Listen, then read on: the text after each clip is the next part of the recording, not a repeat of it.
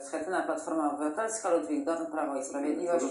Jaką twarz będzie miała Polskę, czy, Polska? Czy będzie miała twarz Andrzeja Lepera, czy Jerzego Urbana? Słuchajmy.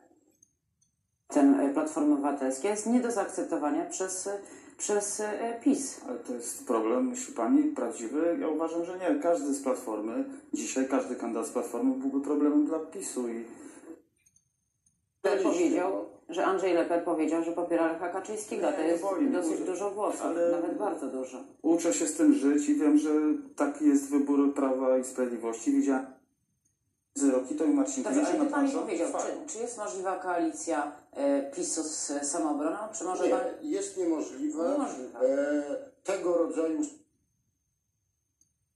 PO, zagłosuje za tym, żeby Andrzej Leper był wicemarszałkiem, Ja czy podniesie jeszcze- rękę? Zaraz odpowiem, jeszcze powiem tylko jedno zdanie. Obiecaliście to temu, kiedy SLD w ten sam sposób Andrzeja Lepera, wtedy, e, Andrzeja żeby- Lepera Państwu coś wyjaśnić. Wczoraj były, e, moimi gośćmi były pani Małgorzata Tusk i pani Maria Kaczyńska i zadałam pytanie.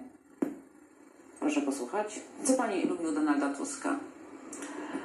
Nie zastanawiałam się szczerze mówiąc.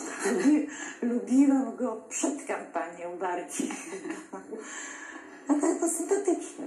A pani u Lecha Kaczyńskiego? Zdecydowanie. No właśnie.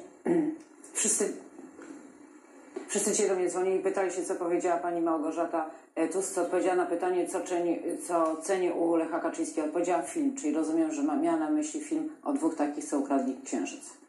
I to jest to zagadka rozwiązana. Ludwik Dorn, Grzegorz Schetyna i Monika Olejnik. Dziękuję bardzo.